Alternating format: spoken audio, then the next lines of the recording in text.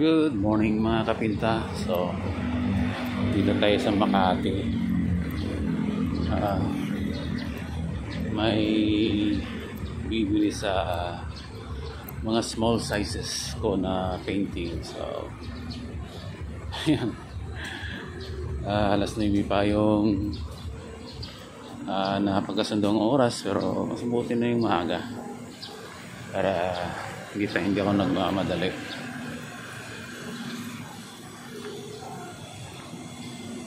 uh, so daming yun, may nagbibisikleta dito. Dami sa Ayala. Pero kami rin nagja-jogging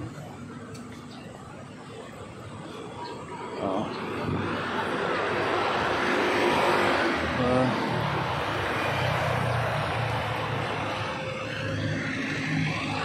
yan oh So, akala ko ba walang sasakyan na daraan eh. Meron din pala, no? Yun, yun lang. But anyways, uh, may dala akong 15 small sizes na paintings na mga plain air. Um, 9 inches by 12 inches. Then, sana may magustuhan kahit apat ayos na yon so may ano na ako. May pang uh, savings. Uh, bili din ng mga additional art materials. Ah okay. So close pala doon banda sa Makati Avenue. So yung open yung dito na side. So you know sa Ayala Avenue uh, corner Makati Avenue close. So ayun. So, ngayon bababa tayo sa uh, underpass. So pasensya medyo ma likot eh wala tayong gimbal no?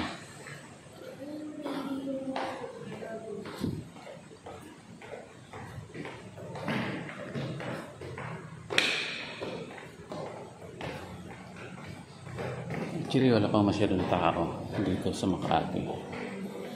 Ah, alas 8 ng umaga pa lang naman. Tingnan mo yung art sa underpass, no? Ah, ang gaganda naman. Ah, di ba? Gaganda naman yung mga gawa. Ito lang weird, parang hindi nag-match sa iba. No? Weird to. Hindi talaga nag-match.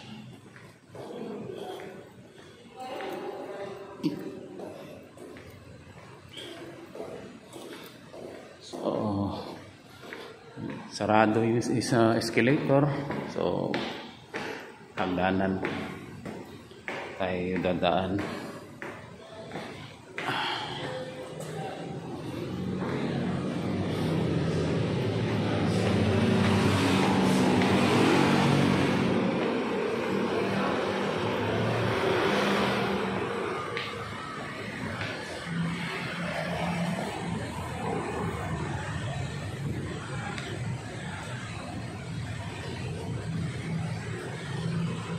Yan o. Yung mga nagja-jogging. Dito pala na side yung close. No? Pati sa kabila.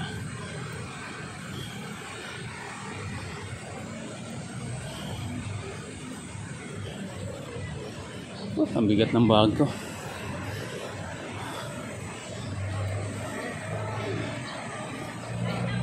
Picture picture pa sila.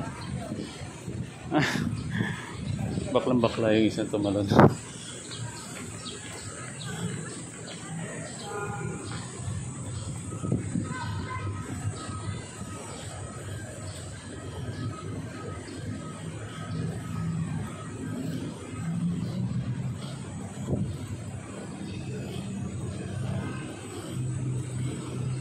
wala masyadong tao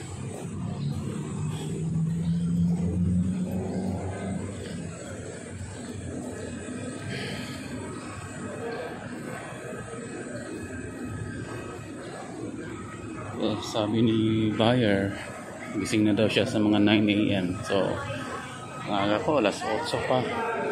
Siguro kakarating ako doon mga 8.30 or 8.40. Tapos mas okay na rin para mas maaga at hindi ako nagmamadali. No? So, easy easy walk lang ako. Ayan o, nagbabike sila. Kakaingit, hindi ako makapag-bike. Dahil dinapat ni buyer yung ano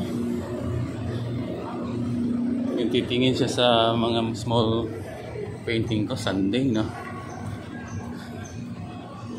But anyway okay, okay din naman.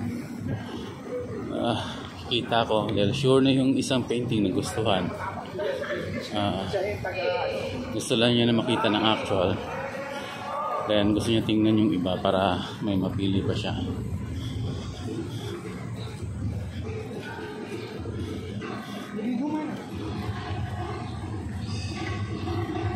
ano meron? Ba't may may sayaw-sayaw? Scenes.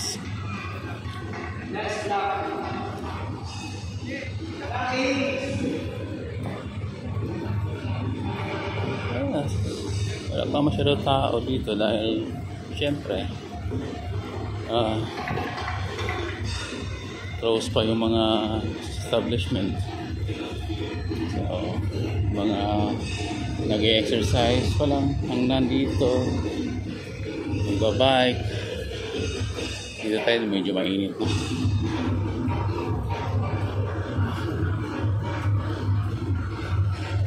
Meron.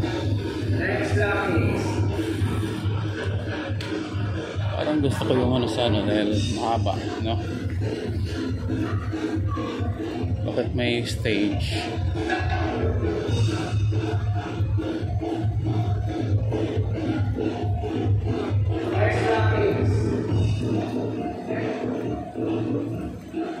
Ah, meron. Ganito siguro. Actually, first time kong ah, mapadaan dito sa araw ng Sunday na ganito na alam kong close. Actually, matagal na to. I think last year pa to na ina-announce. Pero ngayon lang ako nakapunta na Sunday.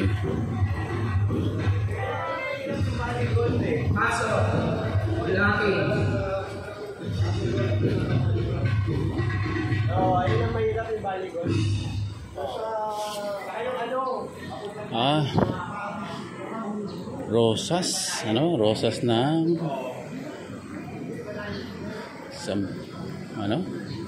Sampero. Oh, yun ang ano eh. May oras, may counting. Bansang Pilipinas, ng Pueblo Amate de Maria o bayan ng it. Amate ng Maria. Patunay dito, maraming pagdiriwang ang pala. sa mahal niya ina. Sa pagdating ng imahe ng Ano next block is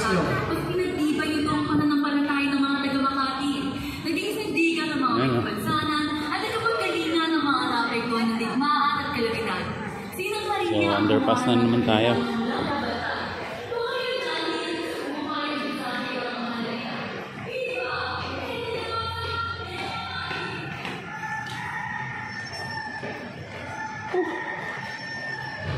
Medyo malayo din ang lakad ah.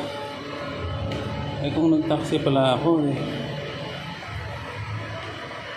Sa iikot pala, sa malayo dadaan, ang laki ng babayaran ko noon kung ganun. Buti naglakad ako, no?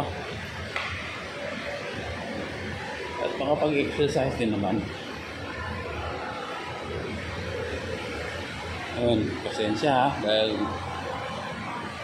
malikot yung camera natin, wala, wala akong gimbal eh.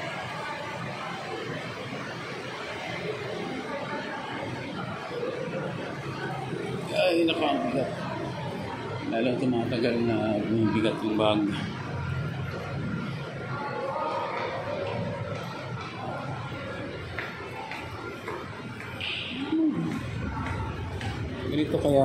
Mag-vlog, maglakad-lakad, no?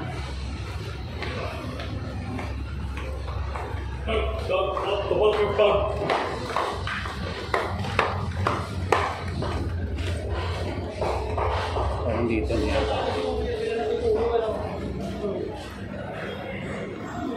Parang school activity yata.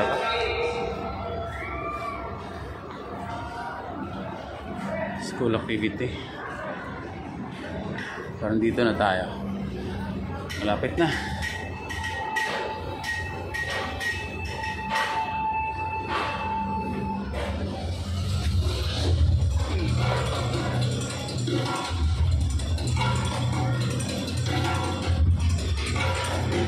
Ayan o.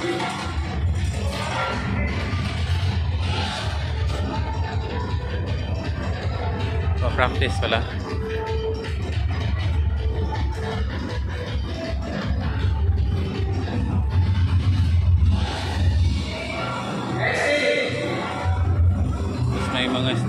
May stage pa, may upuan. Malaking event to.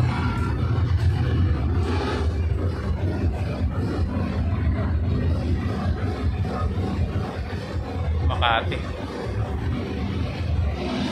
Kaya tayo. Daanan na lang, ka na lang mamaya ulit. Pag katapos.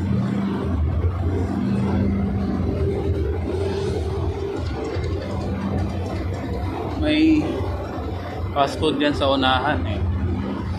Siguro after ng ah, transaction namin ni collector, ah, kain muna siguro ako. So, hopefully, hindi ako sawayin pag nag-video. Um,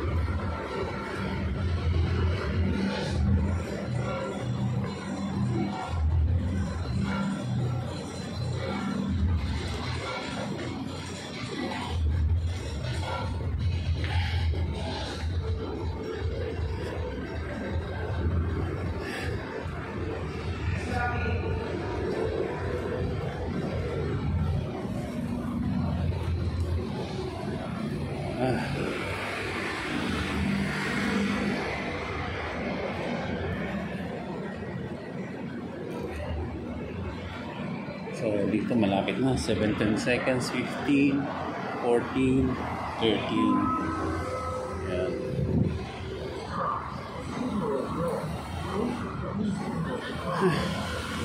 Or, 3, 2, 1. Lakad.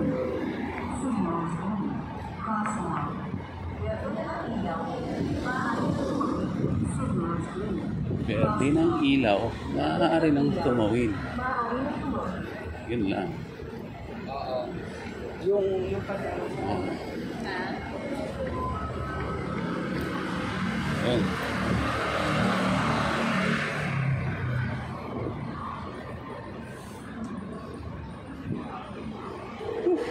So, medyo pinapawis-pawisan na ako. Bigat yung bag na dala ko. Punong-puno. Tapos, naglakad lang din ako. Puti na rin yun. Nakakapag-video ako. Kung nag-taxi ako, inikot pa ako sa malayo. Malalaki, malaki pa yung mababayaran ko.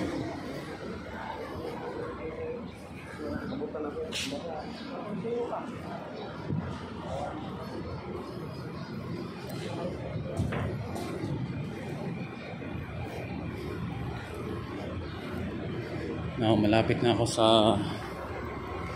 collector ko. So, i-end ko muna yung video. Okay?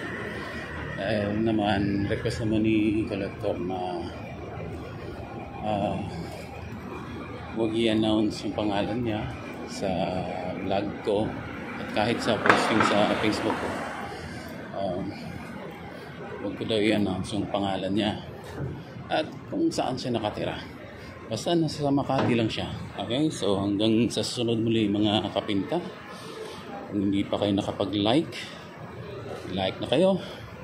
Ah, laking tulong yan sa akin channel. Kung gusto niyo naman mag-subscribe, gusto niyo mga topic na ginagawa ko, go ahead po. So, yun lang. So, click the like button, share, and subscribe. Alright? Thank you.